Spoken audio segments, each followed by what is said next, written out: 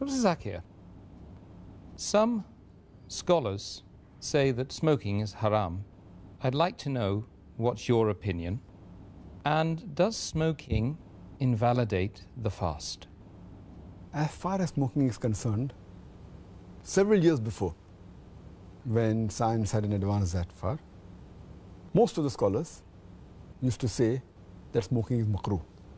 Based on the hadith of Muhammad which is mentioned in Sahih Bukhari, volume number 1, in the book of Adhan, hadith number 855, where the Prophet said that anyone who eats garlic or onion they should stay away from us and stay away from the mosque. Prophet said that, you know, don't come to the mosque after having garlic on it because there's bad breath.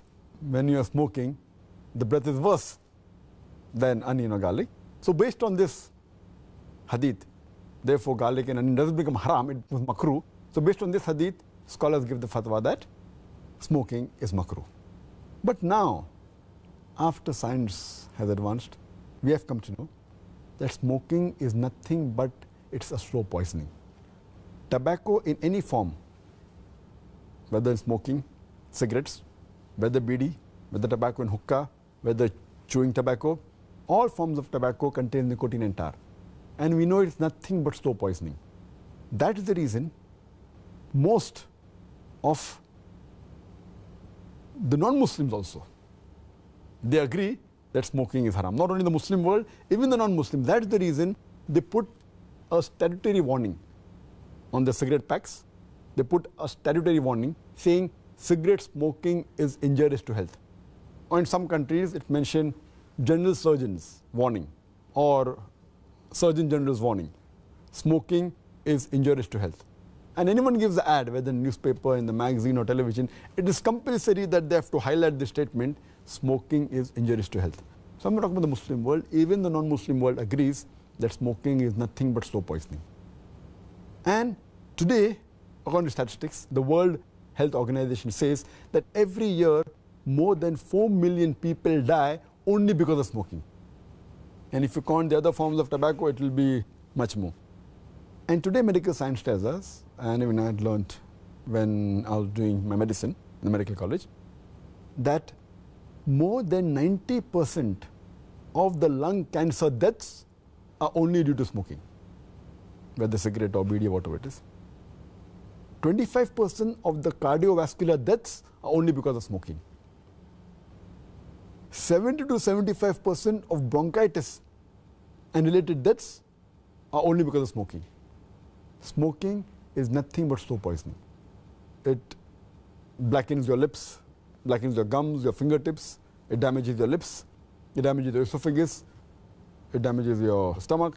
And it can cause constipation, it can cause loss of appetite, it can cause loss of libido, your sexual power gets suppressed, it can cause immunity to the drugs you take. And it reduces the defense of your body. And you can only give a talk on why smoking is haram and I've given a talk on dietary laws in Islam and I've covered this topic in detail. Time doesn't permit me here. But based on all these various research, there are today more than 400 fatwas. The majority of the scholars, they agree that smoking is haram and all form of tobacco is haram. There may be certain scholars of certain countries, including this country where I come from, India, they say it is makruh yet. But most of the scholars, otherwise, throughout the world, majority of them, they agree that smoking is haram. Allah says in the Quran, in Surah Araf, chapter number 7, verse 157, that you follow the prophet, the unlettered prophet who's mentioned in your law and scriptures. And further it says that this prophet asks you to do things which are good for you, tayyab for you. So take what he gives it to you, what is lawful and good. And he prohibits things which are habis, things which are unlawful, things which are bad for you. So what a prophet gives, what he gives you which is good, take, and he prohibits you things which are habis, unlawful, you have to abstain from it. This is the law. And Allah says in the Quran in Surah Baqarah chapter number 2, verse number 195, make not your own hands the cause of your own destruction, indicating that do not kill your own self.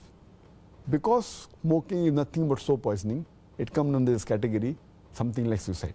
Slow poisoning, every puff you take, you reduce your life. So based on this, there are more than 400 fatwas saying that smoking is haram.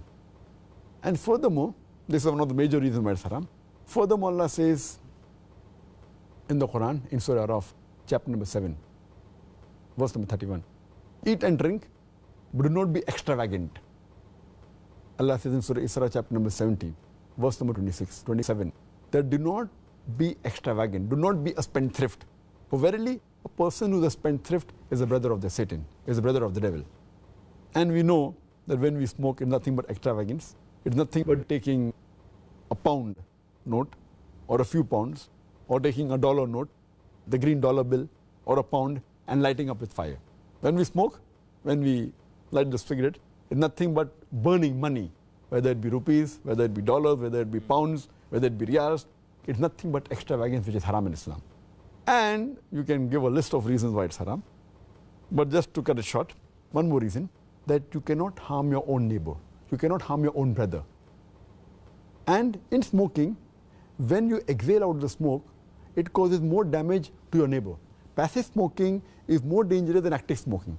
When the person who smokes, when he exhales out, if the person who's a neighbor inhales the smoke, it causes more damage to him than the person who smokes. That's the reason many countries like Singapore, etc., they banned smoking in public places. In your personal house, you can do it. In public places, in government places, smoking has been banned. So based on this, it's haram. So smoking is haram.